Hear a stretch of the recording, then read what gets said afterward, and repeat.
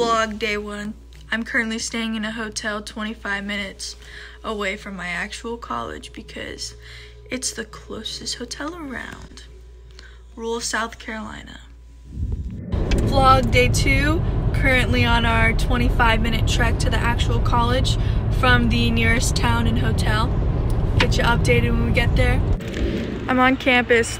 It's day three, and I forgot to vlog the whole time, but I'll vlog today. So throw all of my cares away for you. I'll be. So I pretty much forgot to vlog the entire second day, so I'm just gonna do a voiceover instead.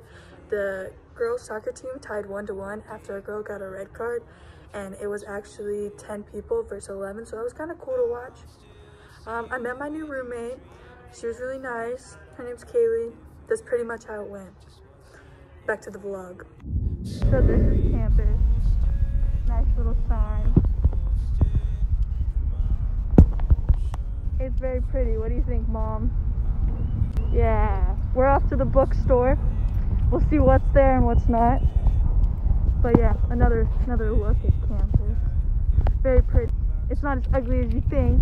Alright, vlog. Got some swag at the bookstore. Mom approved swag. And we're going home because there's nothing to do here. Mom Thank you. bought swag. Thanks, Mom. Realizing you weren't worthy. You don't deserve me. As time